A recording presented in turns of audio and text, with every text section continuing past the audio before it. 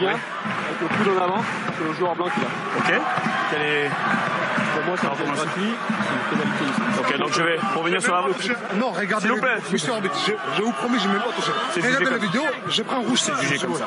Regardez-vous les vidéos. Mais vous venez quand même avec le Allez, regardez, C'est bon, c'est bon, c'est bon, c'est pas lui qui était concerné. Oui, mais il demande un appel à la vidéo pour, euh, pour dire que si, si je- si j'ai fait faute, je prends rouge. Mais il est sûr de lui. En tous les cas, il y a Mathieu Bastaro, le capitaine, demande à Mamouka Gordonnet de se calmer.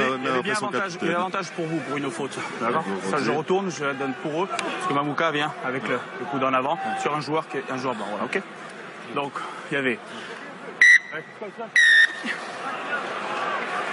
Monsieur Cardona reste le maître de débat. Il